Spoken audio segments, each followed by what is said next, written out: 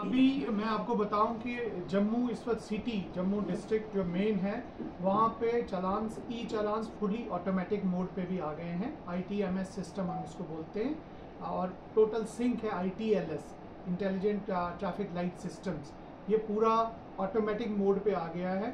तो जम्मू को काफ़ी हद तक, जम्मू में अगर आपने देखा होगा, हमारा ट्रैफ़िक डिसिप्लिन हो गया है।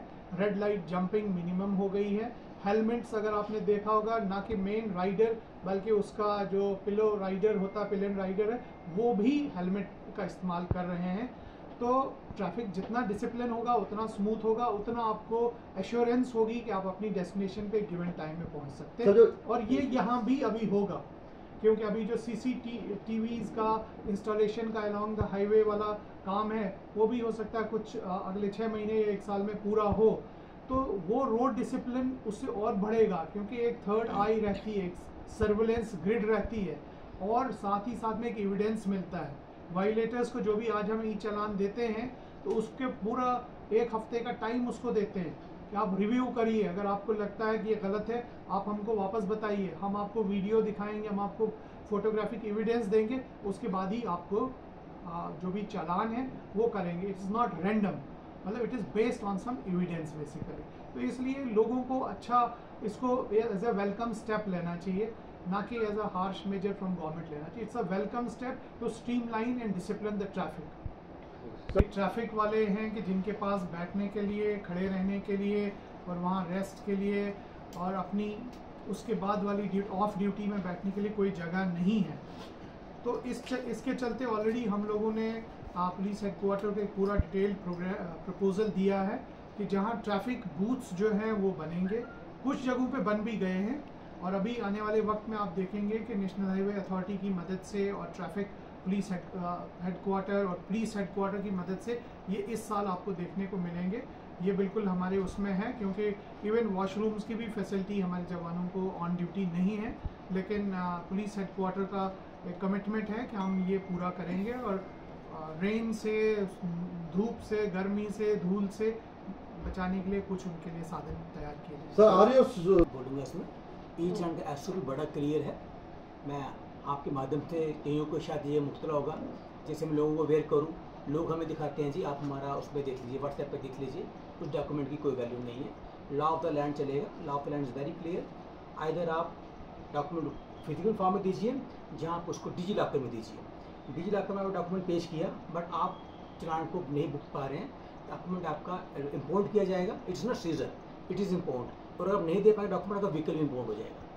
ये ई एस में क्लियरली है। इट हैज़ बी इम्पोर्टेड हमने सड़कों पर one lakh seventy six thousand लोग हिंदुस्तान में सड़कों पर मर जाते हैं। टू टू परसेंट के करीब जी डी पी का लॉस होता है। फोर लाख लोगों को इतना नुकसान होता है कि वो ज़िंदगी भर काम के काबिल रहते हैं। अगर हम इसको इतना रखेंगे कि वो डॉक्यूमेंट क्यों ले लिया है? आप सड़क पर निकल रहे हैं, आपका बिहेवियर आपकी गलती भुगतेगा वो, जिसका कोई कसूर नहीं है।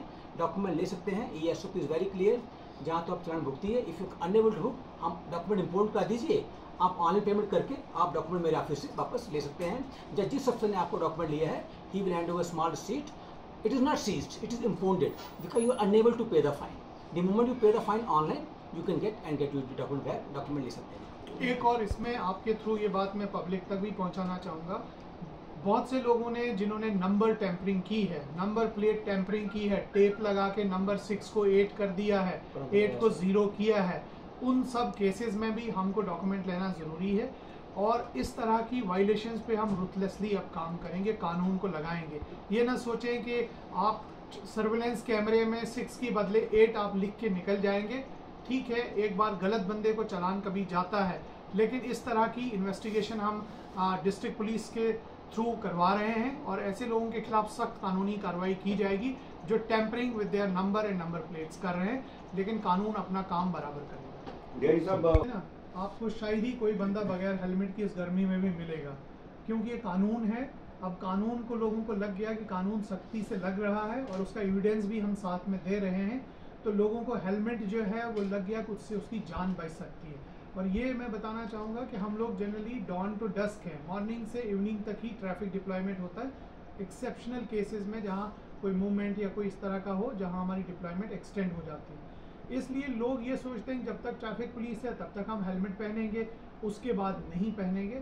तो मेरा एक रिक्वेस्ट सारी पेरेंट्स से ये रहेगा कि अगर आप अपने बच्चे को डेढ़ लाख की बाइक देते हैं तो पंद्रह सौ का हेलमेट भी ज़रूर उसको गिफ्ट दे दें। उसकी जान उस पंद्रह सौ में बचेगी और ट्रैफ़िक पुलिस के डर से हेलमेट ना पहने।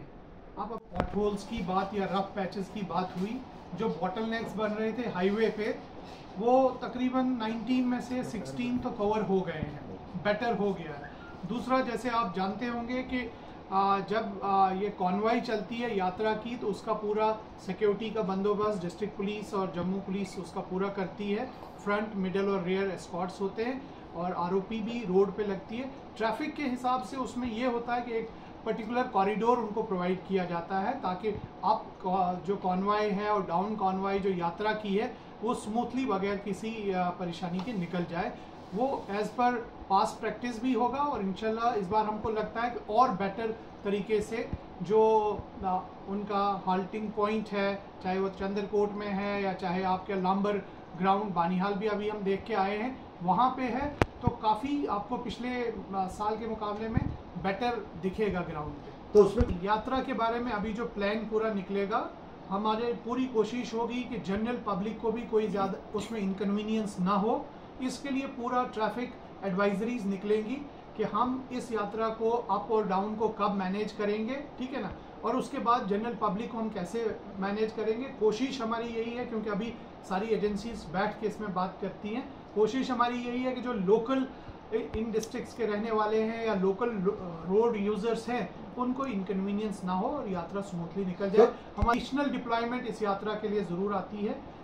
जो मैन मटेरियल और कुछ मशीन हम एडिशनल लेते हैं, कुछ नफरी आएगी जो एडिशनल स्ट्रेंथ आपको ट्रैफ़िक में दिखेगी, कुछ मशीन्स होंगी जो वलनरेबल स्पॉट्स पे हम लोग लगाते हैं इवन हमारे पास सीसीटीवी वगैरह की भी कहीं कहीं पे जो आप देखेंगे सर्वेलेंस वो रखेंगे। इवन इस बार हम ड्रोन्स का भी इस्तेमाल करेंगे for surveillance of the traffic jamming and the rough patches ताकि हमको इमिडिएटली पता चल पाए कहाँ पे ज़्यादा प्रेशर है और वहाँ पे डिप्लॉयमेंट को मोबिलाइज करके हम उसको स्ट्रीमलाइन कर लास्ट ईयर जो हमारे तेरह सौ के करीब डेरे गए थे और हम नमाज़ को मानेंगे नंबर एनिमल वो चार हज़ार के चार लाख के करीब थे। इस साल अभी तक हमारे चार सौ बहत्तर।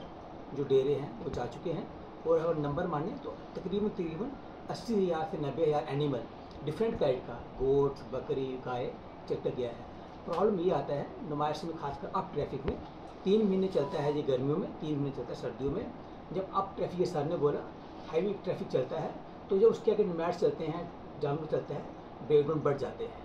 लेकिन अभी जो हमारा द मंथ ऑफ़ जून में है नोमैडिक मूवमेंट है लिटरली अब ज़ीरो पर आ गया है तो हमारे ब्रेकडाउन भी कम हो गए हैं। और मैं मैं ऐड करूँगा कैद करूँगा सर ने बोला कि जैसे कि जो रोड के हमारे स्ट्रेचेस इंप्रूव हुए हैं, वो भी कारण है कि अब ब्रेकडाउन कम हो गए हैं। नोमैड इज़ चैलेंज लेकिन ये एक एक जिसको बोलेंगे व्यवस्था चली आ रही है तो इसको हम मैनेज करते हैं। कोशिश करते हैं कि इनकन्वीनियंस ना हो, लेकिन ये सबको पता है जब नोमैड चलते हैं, गाड़ी कई बार रुकना पड़ता है और इशू बनता है। ये है हमारे पास हाइड्रोलिक क्रेन्स कुछ अपनी हैं और जहाँ और बड़ी मशीन्स की ज़रूरत पड़ती है वहाँ हम जो नियरेस्ट कंस्ट्रक्शन एजेंसीज हैं, उनसे रिक्वेस्ट करके उनकी मदद से हेल्प करते हैं। और अगर टेक्निकल हमें ज़रूरत होती है मैकेनिक्स वगैरह की तो वो हम लोगों ने पूरा प्लॉट करके रखा है। अगर यहाँ मिहाड़ में ब्रेकडाउन ट्रक का हुआ तो ट्रक के पाँच मैकेनिक कौन है, उनको इमिडिएटली कॉल करते हैं। उसकी पूरी डायरेक्टरी नेशनल हाईवे के पास मौजूद है, हमारे पास है। तो वो भी इमिडिएट तीनों चीज़ों को कोऑप्ट करके और जहाँ डिस्ट्रिक्ट पुलिस की भी ज़रूरत है, वहाँ हम डिस्ट्रिक्ट पुलिस से भी इमीडिएटली हेल्प लेते हैं, ताकि वो जो डैमेज है ब्रेकडाउन है, उसको इमीडिएटली रिमूव किया जाए। सर मेन मोटिव क्या था?